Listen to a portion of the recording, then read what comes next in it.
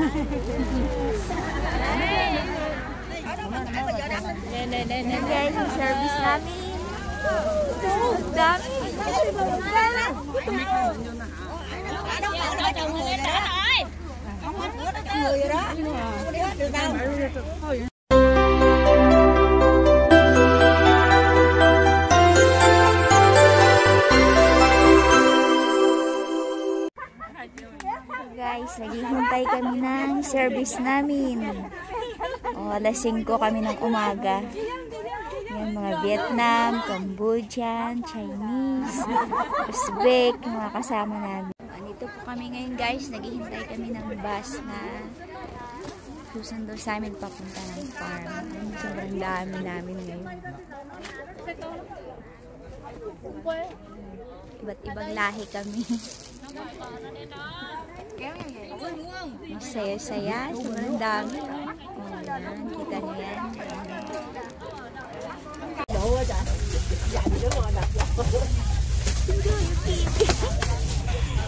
Siksikan kami sa bus, guys.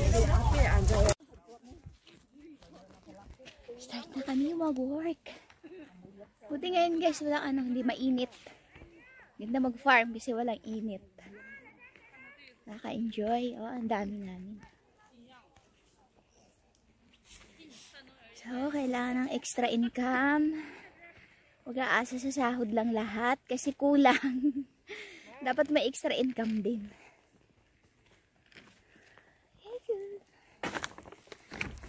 Ito na guys, mag-start na kami mag-work. Nandito kami ngayon sa taniman ng bawang. Ayan. Ang lapad ng taniman. Ayan, mag-start na kami. Ito po yun, nilagyan siya yung cellophane at yan, yung butas na yan, dyan po namin itatanim yung bawang. So, sa bawat hilera, dalawang tao. Hati kayo sa, ano, sa butas na yan. Yan po, halimbawa, sampu, tiglima kayo. Yung iba naman, walo lang. So, tig-apat. Ito guys, ang dami, 12. 12 butas. O, kailangan tig-anim kami. Yan, ganyan po ang paglalagay ng bawang.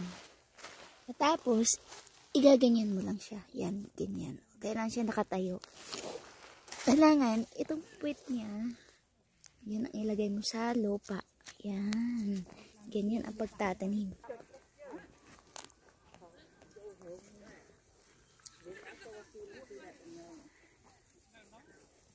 Yak, natatok camera pit.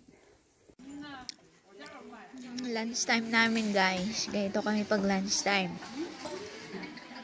Na kami kakain sa gilid-gilid. Iba nagpapahinga na. Iba kumakain pa. Chingo. Chingo. Chingo. Kaya iniisip ng kasama ko.